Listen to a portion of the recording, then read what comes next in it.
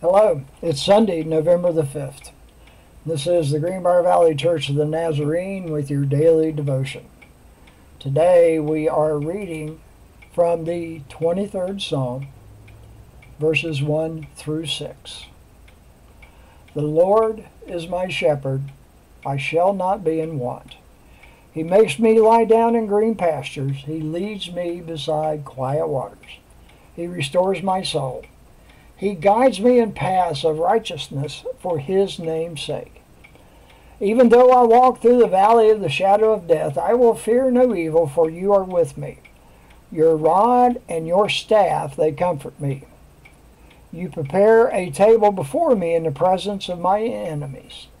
You anoint my head with oil, my cup overflows. Surely goodness and love will follow me all the days of my life and I will dwell in the house of the Lord forever. Great encouragement. Our article today is We Have Everything in God by Chad Geringer. Here's what Chad has to say. One of the hardest things to teach people and one of the hardest lessons to learn is the difference between wants and needs. The more materialistic our community is, the more difficult it is to admit that the thing we say we need is really just something we want. God blesses his people with their heart's desires, wants. He promises to meet all our needs according to the riches of his glory in Christ Jesus. And that comes from Philippians 4, verse 19. Jesus taught us that God knows all our needs. Matthew 6, 32. That's good news. King David wrote that we lack nothing when the Lord is our shepherd. That simply means, as God flock, as believers, we have everything we need protection, discipline, provisions, rest, salvation, comfort, and guidance, to name a few.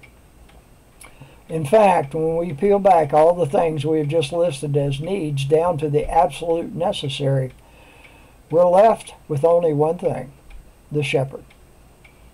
When the Lord is our shepherd, He is all we need. This week, let's not confuse our wants and our needs. Let's not get greedy for stuff we don't need. Let's take time to thank God for being and providing all we need. And the hymn for today is God Will Take Care of You by Civilla D. Martin. All you may need, He will provide. God will take care of you. And from the book of Philippians, chapter 4, verses 6 and 7. Do not be anxious about anything, but in every situation, by prayer and petition, with thanksgiving, present your quest to God and the peace of God, which transcends all understanding, will guard your hearts and your minds in Christ Jesus. and please pray for the development of Christian leaders in the Turks and Caicos Islands. And this is your daily devotion for Sunday, November the 5th. Have a blessed day.